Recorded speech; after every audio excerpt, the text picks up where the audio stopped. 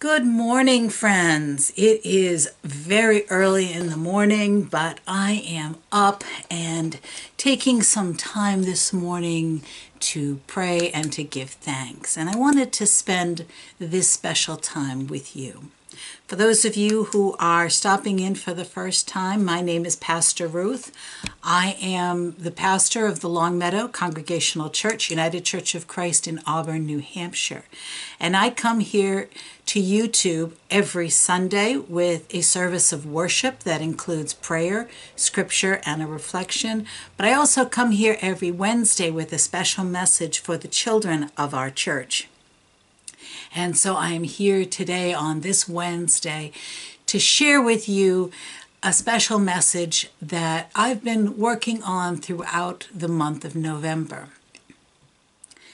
In November, we celebrate a special holiday here in the United States that we call Thanksgiving. It is a time that we give thanks for all that we have. And so I decided that, you know, I don't want to save my thanks to God just for one day. I decided that I am going to claim, it's my decision, I'm going to claim the entire month of November as my month of gratitude, my month to give thanks. and so earlier, a few weeks ago, I decided to make up what I'm calling my thankful pumpkin, and I shared, excuse me, and I shared a uh, copy of this with you. And if you would like to uh, copy it, I've put a link in the uh, box down below, and you can print it out and color it in for yourself. But it's just a pumpkin, and I've decided that I want to use this pumpkin to remind me every single day to pray and give thanks to God for just one thing. Now, it can be more, but just one thing. And so I put this on my refrigerator because that's where I can see it every day. And it reminds me to take time. And I tend to do that in the early morning. That's the time that I want to spend with God because it's a time before I get all distracted and time when before I get into my day. I want to make sure that I start my day in a good place. And I think one of the best places to start my day is by thanking God.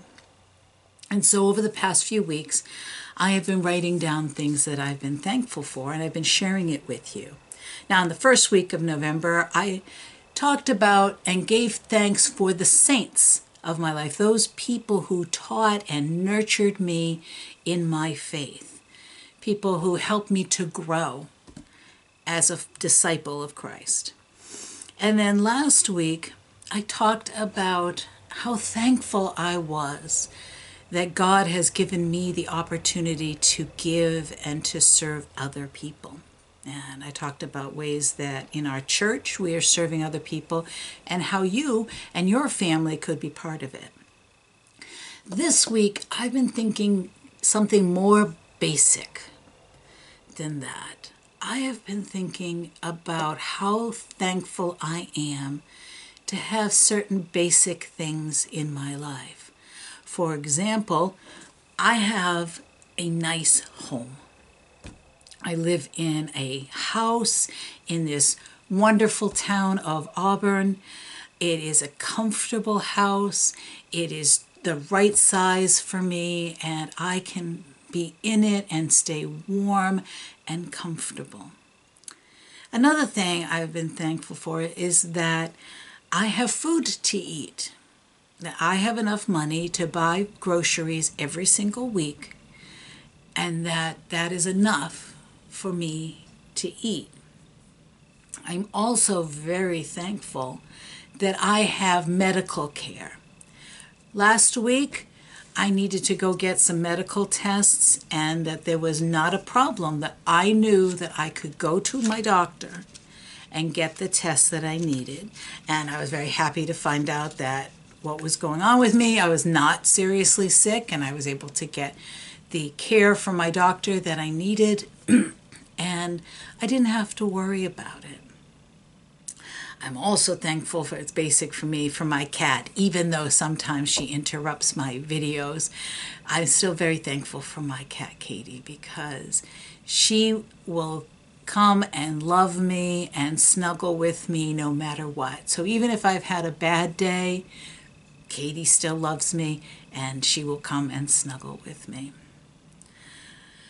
I am really very blessed. And one of the things I'm also blessed with is that I have a job, a job with people that I love, people like you, that I can come and talk to people about what I'm thankful for, and that I can come here on YouTube and talk to you about Jesus. And I can welcome people into our church, whether it be in the building or here on the internet. And that I am able to do this because for me it's a great privilege to be able to do that. Now, I was talking to some friends about the, these things that I'm thankful for this week, and somebody said, Well, why are you thankful to God for that, Ruth? I mean, you work for those things. You work to earn those the money to buy those things. Why are you thankful? You deserve those things. And it is true that I do work for a living and I do work hard for a living. And I work a lot of hours to do it. But the fact is, there are thousands upon thousands upon thousands of people around the world who work just as hard, if not harder, than I do, but don't have access to the things that I have people who long to be able to have enough food on their table or to have a nice home, a nice house in which to live. There are people who work 40, 50, 60 hours a week and still cannot afford medical care. They don't have medical insurance and they can't afford to go to the doctor. And there are some people who look for a long time and don't find a job that they love as much as I love my job. You see, I know that although I work hard, I'm not the only person who works hard. And so these things that I have are a privilege. I am grateful to God. And it, I don't have these things because God loves me more than other people. I have been fortunate. I have been privileged to live in a place where I can get work, to have had access to good education. I have had a lot of privileges in my life that many people have not had. And so I think that it's important for me. And I think that God is putting on my heart to not take these things for granted, to not assume that I'm special because I have them, to not just say, well, I earned them and I deserve them, but to be thankful and then to go the next step and say, what can I do for the people who don't have the privileges that I have and the blessings that I have? Can I be a blessing to those people? Can I do something that will help to change their circumstances? And so that's what my prayer has been this week to God to ask, Thank you for my home. Help me to know what I can do for someone who doesn't have a home. Thank you for my job. Help me to know what to do for someone who doesn't have a job. Thank you for my cat.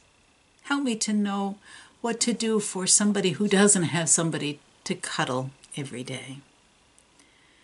Thank you for the doctors and the nurses and all the people in the hospital who took care of me help me to do something for those people who don't have access to medical care. And thank you for my job. And help me to, to know what to do to help people who right now don't have a job. Help me to always keep those people in my heart and be open to what I can do. That's what thankfulness leads us to. Thankfulness leads us to know that we are privileged and that God has blessed us. And hopefully, I think God wants it to lead us to finding ways that we can bless other people. Will you join with me in prayer? Lord, we thank you for all the blessings of our lives. Make us a blessing to help those who have not had the same privileges that we have had, and to remember that everything we have is a gift from you. Amen. I hope you have a wonderful week in this week leading up to Thanksgiving. And I hope that you will join with me again next Wednesday when I'll be here with a special message for the children of our church, and also come on Sunday when I have a special message of prayer, scripture, and reflection for the entire church family. If you want to know when every time I post a new video, you can look down below and there's a button that says subscribe, and right next to it is a bell. If you click on both of those things, you'll receive a notification of every time I post a new video. So until I see you again, I hope you have a great week. And remember, I love you very much. I miss you. And remember that God loves you more than you can ever imagine. Until I see you again, have a great week. Bye bye.